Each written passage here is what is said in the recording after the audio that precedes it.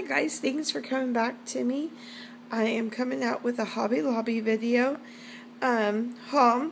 I went there looking for some faux or faux um, leather because I wanted to make my own travel um, journal and I could not find any um, with it. So I'm still on the lookout for it. But I did find these pretty ribbons for a dollar each. I found this um, like rubber band ribbon stuff for uh, 64 cents for three. I found each of these right here. This one right here was 99 cents and this one was a dollar something. I've already used them. That's why they're both a little bit open. Um, I found me this egg timer. I'm going back to work and so uh, Rami on Cooking with Rami. Uh, she found it and she used it and she said it worked really, really good. So I got me one for work. And then I got this pad of paper. I thought it was just like a, a ro- pink, rosy, um, uh, you know, uh, chic, you know, chic thing, whatever you want to call it.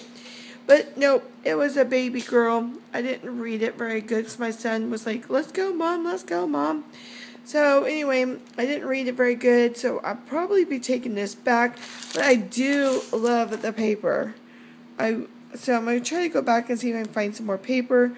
All their paper products are on sale, including their paper kits for um, whatever they are. They're like 40 to to 50% off.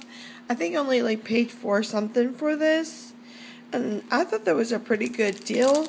So I might run it back tomorrow and get a different one.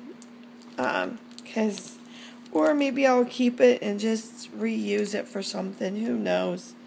But I don't know anybody who's pregnant. So anyway, it comes with all this stuff right here. 10 papers, one cardstock sheet, one um, sticker of, of ABC stickers and some stickers of decorations, and then 21 of these cut dies. So I thought that was a good idea. So anyway, I might go check them out and look and see what I can find. Thanks for watching this, guys. It was a very small haul. If you guys like it, give me a thumbs up and have a great day. God bless you.